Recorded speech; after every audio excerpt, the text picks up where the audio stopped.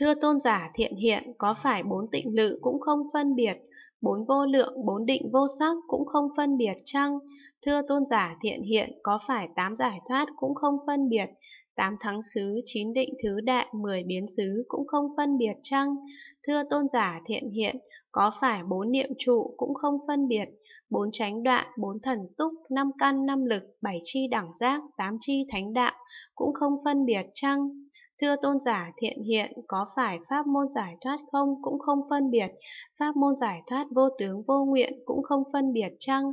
Thưa tôn giả thiện hiện, có phải bậc cực hỷ cũng không phân biệt, bậc ly cấu, bậc phát quang, bậc diệm tuệ, bậc cực nan thắng, bậc hiện tiền, bậc viễn hành, bậc bất động, bậc thiện tuệ, bậc pháp vân cũng không phân biệt chăng? Thưa tôn giả thiện hiện, có phải năm loại mắt cũng không phân biệt, sáu phép thần thông cũng không phân biệt chăng?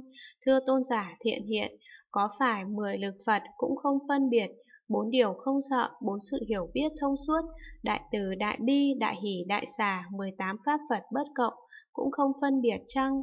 Thưa tôn giả thiện hiện, có phải pháp không quên mất cũng không phân biệt, tánh luôn luôn giả cũng không phân biệt chăng?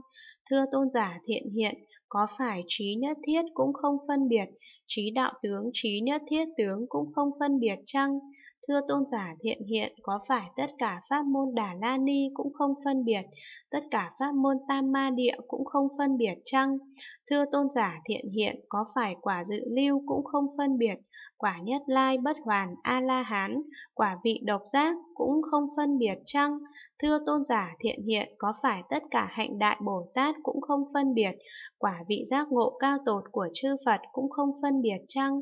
Thưa tôn giả thiện hiện, có phải cảnh giới hữu vi vi cũng không phân biệt, cảnh giới vô vi cũng không phân biệt chăng?